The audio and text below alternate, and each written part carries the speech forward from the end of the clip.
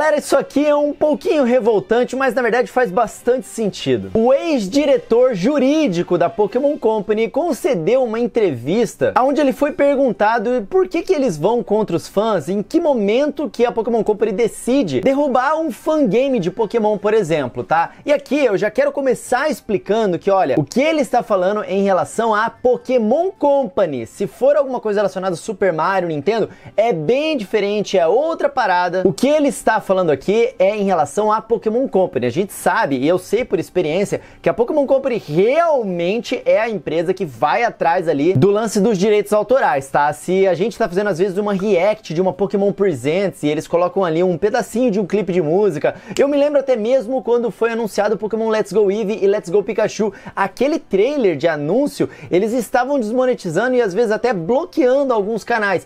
Vídeo de música e tudo mais, a Pokémon Company realmente faz isso. Quando eu digo bloqueando canais, não é bloquear o canal, é bloquear o vídeo. E aí normalmente depois de 24 horas eles liberam e tal, porque no início eles querem ter o controle total ali da onde que tá sendo aquela informação. E assim, fangame de Pokémon, a gente sabe que realmente a Pokémon Company ela vai bastante atrás. E já quando se trata de Nintendo, é só você buscar por fangame Super Mario, você vai encontrar ali, cara, um site com dezenas e dezenas e dezenas e dezenas de fangames de Super Mario ali, tipo assim, totalmente conhecidos, não é nada. Enfim, a Pokémon Company ela é diferenciada nesse sentido aí, tá? Mas vamos lá. Algumas das suas remoções mais famosas sendo contra grandes fangames como Pokémon Uranium e Pokémon Prisma. E aí, em entrevista ao Aftermath, o ex-diretor jurídico da Pokémon Company, Don McGowan, revelou um pouco do processo da empresa quando se trata de lidar com fangames. De acordo com o McGowan, um fangame normalmente atrairia sua atenção por meio de artigos de notícias escritos sobre o projeto, embora a remoção normalmente não aconteça até que o fangame comece a ser financiado pelo Kickstarter ou por algum outro meio. Então aqui, cara, aquela revolta toda, aquela treta que normalmente acontece, nunca é à toa, né? Eles não chegam também em qualquer fangame para tirar, olha só. Ele foi perguntado como a The Pokémon Company lida com as cartas de cessar e desistir, que é o que a galera na internet chama do famoso processinho, que na verdade não é processo de coisa nenhuma, é só uma carta extrajudicial, que significa que ainda não é na justiça, de por favor, remova isso do ar, senão aí sim eu vou te processar, né? É uma parada que eles costumam mandar antes e eles se chamam de cease and desist. Como você encontra esses jogos para fazer o cease and desist e onde traça o limite entre o que é permitido e o que a empresa acha que precisa ser encerrado? Antes da resposta dele aqui, é importante citar que ele não é diretor jurídico da Pokémon Company, ele é ex-diretor jurídico da Pokémon Company. Então, ele tá falando aqui sobre o passado e não necessariamente reflete o que a Pokémon Company faz hoje em dia, tá bom? Embora né, enfim, possa refletir ações que eles tomam hoje em dia, isso aqui pode explicar, né? Mas ele não está falando pela Pokémon Company aqui, só para deixar isso 100% claro. Aí ele já deu uma resposta curta aqui, ele falou: "Obrigado. Eu estaria normalmente sentado no meu escritório cuidando da minha vida quando alguém da empresa me enviasse um link para uma notícia, ou então eu mesmo o encontraria". Ele tá dizendo tipo assim, o fangame ele virou notícia ali na imprensa, começou a chamar a atenção demais. E aí, cara, é nesse momento que algumas pessoas começam às vezes a confundir. A gente acha que é muito separado, que todo mundo entende, mas não, mano. A verdade é que crianças, principalmente mais novas, às vezes, não sabem diferenciar o que, é uma parada original, o que, que é um fangame. E aquilo ali pode afetar a forma com que ela enxerga essa franquia ou que ela pode até querer continuar interessada se apaixonando por aquela franquia, né? À medida que ela vai crescendo. Mas assim, mesmo não crianças, cara, adultos que às vezes são apresentados por esses fangames e tudo mais, dependendo da forma com que eles chegam à mídia, dependendo da forma com que eles chegam a essas pessoas, elas são leigas, elas não sabem do que se trata, elas acham que pode ser um jogo de Pokémon.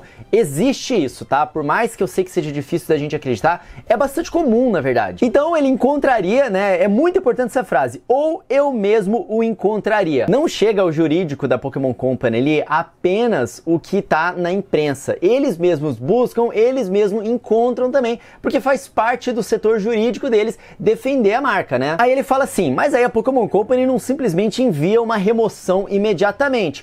Eles primeiro esperam para saber se eles vão ser financiados, né? Tipo um Kickstarter ou similar, que foi o que aconteceu justamente com o emulador, né, de Nintendo Switch que aconteceu recentemente, que os caras eram financiados ali pelo aquele Patreon, né, que dava cerca de 150 mil reais por mês para eles. Aí ele conclui: se eles forem financiados, aí é onde a empresa costuma se envolver ninguém gosta de processar os fãs, né? Então eu achei interessante essa parte aqui, que o pessoal acha que é tipo uma parada que eles querem ficar fazendo.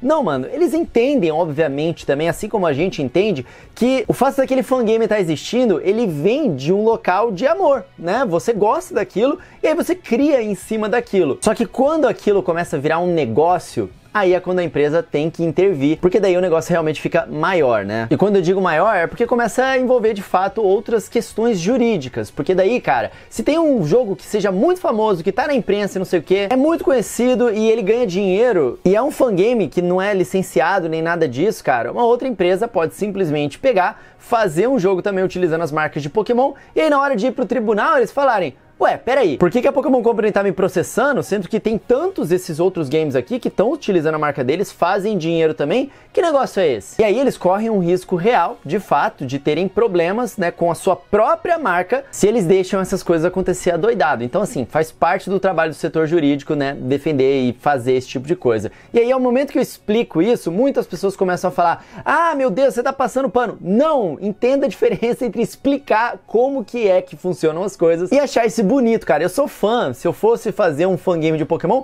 eu não ia querer receber uma cartinha da Pokémon Company, né? Mas, sabendo disso também, obviamente que eu não ia tentar ganhar dinheiro em cima disso também, né? Agora, uma outra notícia, e dessa vez é uma notícia super boa, mas que também está revoltando fãs do Brasil e com razão, essa aqui. Pokémon Company confirma a localização para a América Latina. Você lê isso aqui, mano, você já fica, putz, que legal, finalmente a gente vai jogar o jogo em português. Mas não, excluindo o português português. A localização é para o espanhol da Espanha e o espanhol da América Latina, que agora vão ter algumas diferenças, tá? Mas calma, tem muitas matérias comentando sobre isso que foi confirmado pela Pokémon Company. O próprio perfil Centrolix falou que a Pokémon Company confirmou estar trabalhando, mas a gente não tem a Pokémon Company mesmo fazendo essa confirmação. Por enquanto, são essas informações vindo aí da internet. Eu não sei, eu não consegui achar a fonte dessa confirmação, mas como também não é algo novo, eu já mostro isso aqui para vocês, eu acredito que deva estar correto e eu já mostro para vocês, tá? A princípio, cara, se trata aqui de uma localização para Pokémon GO. Embora eles também comentam rumores sobre o próximo Pokémon Legends ZA. Deixa eu explicar tudo isso aqui para vocês e aonde que o Brasil se mete no meio dessa história. De acordo com o reporte do Centro Pokémon no X, né, ou seja, no antigo Twitter, já é destacado algumas mudanças entre o espanhol europeu e o espanhol latino-americano. Na Espanha, o tipo Bug Type é localizado como bicho, o que é estranho para quem joga o jogo em espanhol aqui na América Latina. Então eles estão atualizando alguns nomes e assim também muitos nomes de golpes de personagens, tipagem de Pokémon e tudo mais, mas não os nomes dos Pokémon em si. Esse se mantém. Então na Espanha, cara, quem jogava em espanhol, o tipo bug era bicho e o tipo lutador era lucha. E agora no espanhol da América Latina, de acordo com a Centrolix. Lembrando, a Pokémon Company não falou isso ainda, está sendo reportado dessa forma porque foi assim que eles falaram, mas a Pokémon Company não ainda oficializou isso, tá bom? Na América Latina, o tipo bug vira insecto, que faz bastante mais sentido, e o tipo luta vira peleia. Eu particularmente prefiro lucha, mas bom, eu não falo espanhol. Mas onde que o Brasil se encaixa nessa história, cara? O Necrolip, quem acompanha ali o universo Nintendo e tal há muito tempo atrás,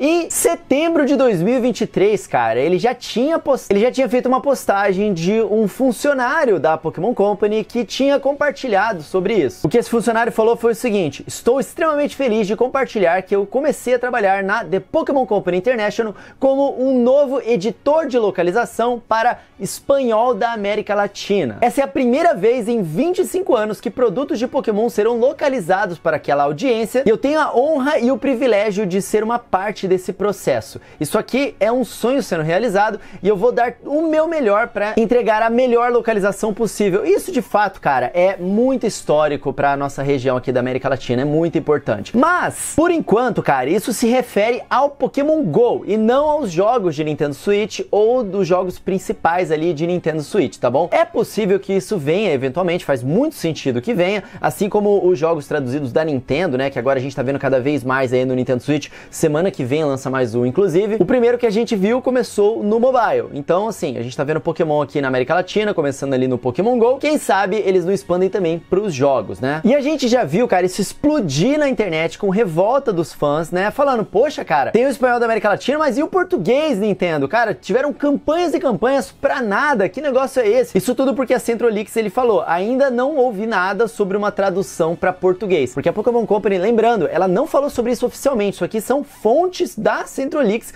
e do Centro Pokémon, que é um outro site de notícias de Pokémon, e de um funcionário, né, traduzindo produtos de Pokémon, né, lá atrás que ele tinha falado isso, que não necessariamente significaria que ia ter os jogos, mas aparentemente estão vindo jogos também. A gente só não teve essa informação saindo ainda em relação a português, mas a gente tá vendo, cara, que as ações que a Nintendo tem tomado aqui na América Latina para espanhol, seja em eventos, seja em jogos, em localização, elas também começaram a tomar em português. Sim, cara, a gente teve em 2020 o Animal Crossing que foi lançado em espanhol da América Latina e a gente não teve ele em português, mas isso aconteceu antes da Nintendo chegar de fato de volta no Brasil. Agora a gente tá vendo, cara, que eles estão se aproximando nessa paridade. Isso é uma confirmação de que os jogos vão ter português? Não é. Mas ao mesmo tempo, quando se trata de Pokémon GO, a gente já tinha o jogo em português do Brasil, não tinha? A gente viu aqui no carnaval, cara, mês passado, a Pokémon Company ali, a Niantic, localmente fazendo um evento exclusivo pro Brasil, o Carnaval do Amor. Eu até divulguei bastante para vocês aqui no canal. Então a gente está vendo isso acontecer no Brasil. Vamos ver, se por acaso vier para os jogos, a gente tem essa expectativa de vir também em português para os jogos. Lembrando que depois da campanha, cara, Pokémon em português, a Nintendo, ela fez um comunicado aqui, ó, falando o seguinte: "Para nós é importante que os fãs de Pokémon possam aproveitar o conteúdo da marca no idioma da sua preferência